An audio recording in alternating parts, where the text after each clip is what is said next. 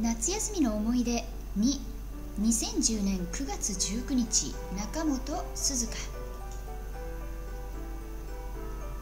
夏休みにアミューズキッズの発表会がありました。毎年夏休みに全国のアミューズキッズが大集合する合宿が今年から発表会に変わり東京小学生対東京中学生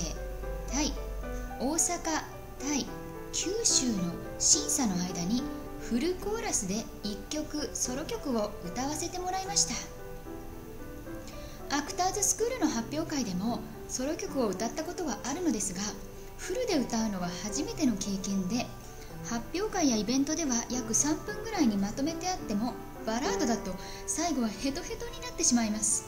それが今回は約6分間。初めはすごく緊張したんですがだんだん感情が高まってきて気持ちよく歌えました。こんな風にフルで歌えることはなかなかないので貴重な経験でした。桜学院の先生から出された課題曲は生き物係さんの「エール」低音が難しかったです。最後にアミューズキッズみんなで歌う曲もできてみんなで歌えて楽しかったです。鈴。